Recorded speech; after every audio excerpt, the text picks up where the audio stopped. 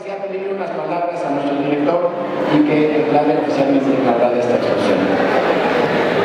Hola, buenos, buenos días. Noto un poquito apagado el ambiente. Creo que deberíamos de poner un poquito de desorden. Solamente les voy a pedir una cosa y después los dejo en paz. Un aplauso, un grito, lo que quieran, pero que se